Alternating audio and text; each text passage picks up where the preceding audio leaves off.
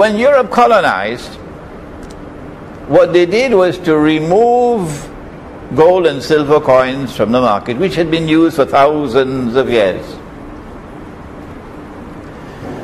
And they replaced it with new money that they had created. And today's lecture is meant to describe to you that new money that was European.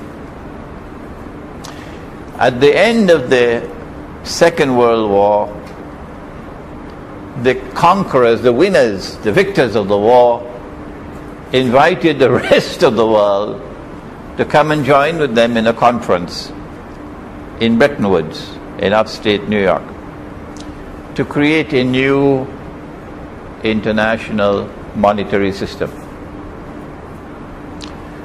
And uh, it will be interesting for those of you who want to further research the subject to go and find the uh, documents relating to that conference and read them. Britain and the United States dominated the conference. France was there. And France had good thinking. Yes, I have to credit France with good thinking. But France was overpowered in that conference. And so it became an Anglo American conference, really. The Americans were led by a man named Mr. White, and of course the British were led by John Maynard Keynes. And they decided that the new monetary system, which will be based on European paper money, paper currency, or some, sometimes called fiat money, must have some link with gold and therefore link with integrity. Once there's a link with gold, there is some measure of integrity.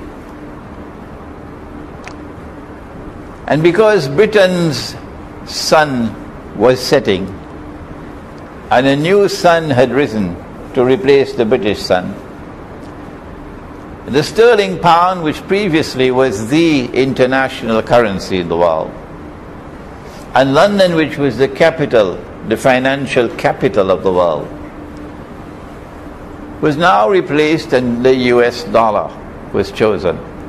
And hence Washington now became the international financial capital. The link with the, with the gold was that the US dollar would be redeemable to redeem means you can take the paper and have it converted to gold. Redeemable. The US dollar was redeemable in gold. And they fixed the rate at $35 US for one ounce of gold. But you and I could not redeem our dollars. Only governments, only central banks could do that. And so the United States government, under international law, was obliged to redeem dollars for gold at $35 an ounce. One of the major pillars of an international order is called Pacta Sunt Servanda. The treaty obligations must be honored. And that's the first verse, the very first verse of Surah Al Ma'idah, chapter 5 of the Quran. When you give your word, you must keep your word. And so the United States had an obligation under international law to keep their word, to redeem US dollars for gold at $35 an ounce whenever a central bank or government wanted it redeemed. And that was meant to demonstrate to the world that this monetary system had some integrity because there was a link with gold. Or what about all the rest of the other paper money in the world? What about the French franc? What about the German mark? The Pakistani rupee? The Malaysian ringgit? The Singapore dollar? Brunei dollar? The agreement was that all the other currencies in the world, paper currencies, would have their value determined on the basis of their link with the dollar. And so if you ask, well, what's the value of the Malaysian ringgit? You do not answer and say that the Malaysian ringgit is so many ringgits to one ounce of gold. No, sir. Only Uncle Sam has that honor. the Malaysian ringgit is worth 3.04 ringgits to one dollar. That's the answer. You do not give the value of the ringgit converted to francs. No. Because this monetary system was meant to entrench the United States of America as a new ruling state in the world to replace Britain. So it was not mere economics. It was not mere monetary economics. It was also politics. It was also world politics. It was a monetary system which was being crafted, which would entrench the United States as the ruling state in the world.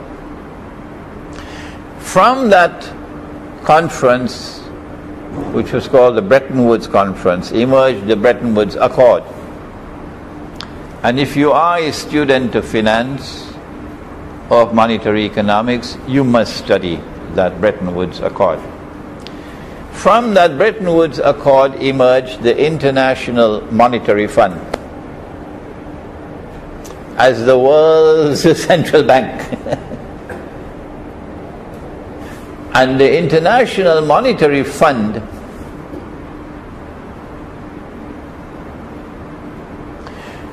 had rules which required every member state to deposit with the fund, listen carefully, 25% of all your gold reserves. In the process of delivering to the International Monetary Fund 25% of all the gold that Pakistan had, number one, the impression was created that this monetary system is based on gold. The gold is there. The actual fact was they wanted to know how much gold you had. Number one. And number two, they had a strategy. The articles of agreement of the International Monetary Fund, listen carefully, prohibited the use of gold as money. Why? Is there anyone underneath the clouds and underneath the sun who could answer that question?